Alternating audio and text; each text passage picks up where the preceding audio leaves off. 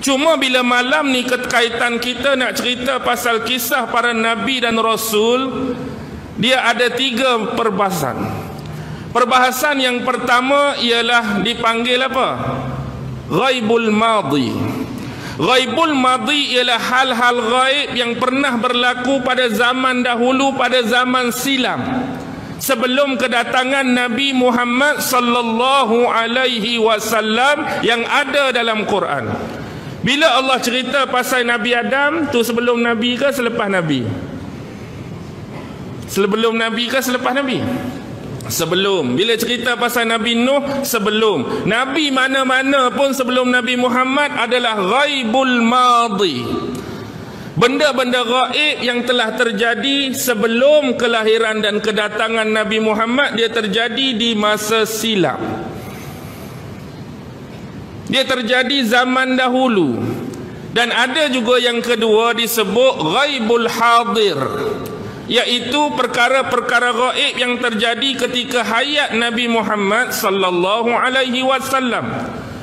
Contohnya makar-makar yang Allah sebut wa makaru wa makarallah wa yamkuruna wa yamkuruna Allah apa dia makar perancangan apa dia makar agenda apa dia makar konspirasi yang pernah dilakukan oleh orang-orang Yahudi semasa hidup sezaman dengan Nabi yang pernah dilakukan makar ini oleh orang-orang munafik pada zaman Nabi tetapi hal-hal mereka ini walaupun tanpa pengetahuan orang ramai tetapi dapat diketahui oleh Rasulullah dengan turunnya wahyu-wahyu tertentu memberitakan tentang mereka.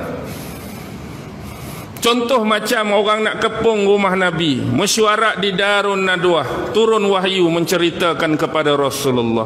Turun cerita mengenai orang-orang Yahudi, turun cerita mengenai orang-orang munafik kepada Nabi Muhammad. Yang ni disebut ghaibul hadir. Dan yang ketiga ialah ghaibul mustaqbal. Benda-benda gaib yang akan datang. Peristiwa-peristiwa yang diberitakan oleh Nabi Muhammad sallallahu alaihi wasallam. Apa yang Nabi cerita tentang masa depan jangan kita sebut sebagai ramalan.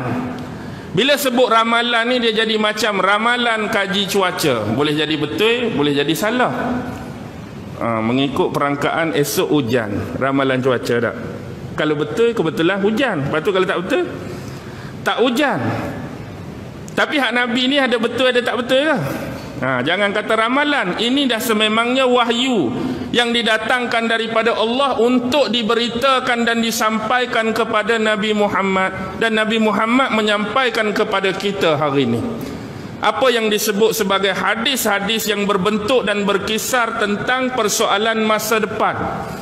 Apa akan jadi? Banyak hadis-hadis yang terkaitan dengan akhir zaman, peperangan, tanah runtuh, fitnah, mati mengejut, peristiwa tu, peristiwa ni, peristiwa tu, peristiwa ni. Itu semua adalah tentang masa depan. Dan setiap sabdaan Nabi, peringatan Nabi ini ada sebahagiannya sudah benar-benar terjadi dan berlangsung. Dan ada sebahagiannya masih belum terjadi.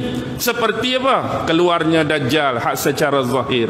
Turunnya Imam Mahdi, hak secara zahir. Datangnya kedatangan Al-Mahdi secara zahir. Hak itu belum lagi dinampakkan kepada kita dan kita meyakini dengan sebenar-benar keyakinan apa yang didatangkan dan disabdakan oleh Rasulullah sesuai dengan hadis-hadis yang benar dan sahih itu adalah kebenaran tetapi fungsi dia adakah kita diminta untuk menunggu-nunggu? Tidak. Bila Rasulullah sebutkan kedatangan mereka bukan kerja mereka kerja kita ni nak tunggu. Bila Imam Mahdi nak datang? Bila Nabi Isa nak turun? Bila Dajjal nak keluar? Oh tanya pula. Kalau tanya Nabi saya nak turun okey lagi. Bila Dajjal nak keluar? Action dia Hak kita duk cerita pasal Dajjal sebelum ni Adalah peringatan kepada fitnah-fitnah dia. Bukan kita nak minta cepatnya mereka datang. Bukan kita nak minta cepatnya mereka turun. Bukan itu tujuan dia. Bukan menunggu-nunggu mereka. Kita ada tugas pada zaman hidup kita. Mereka juga ada tugas yang telah ditetapkan oleh Allah atas diri mereka jadi sebelum mereka datang sebelum mereka turun apa yang perlu kita buat Apa yang wajib kita buat? Kita takut tunggu punya tunggu, dia tak datang-datang, kita KO dulu. Ha, duk buat apa tu? Tunggu Imam Mahdi, esok mati. Duk buat apa? Turun Nabi Isa turun. Minggu depan meninggal. Jadi apa artinya penantian ini? Hak nak datang tu tetap akan datang. Tapi kita hari ini apa usaha yang kita buat?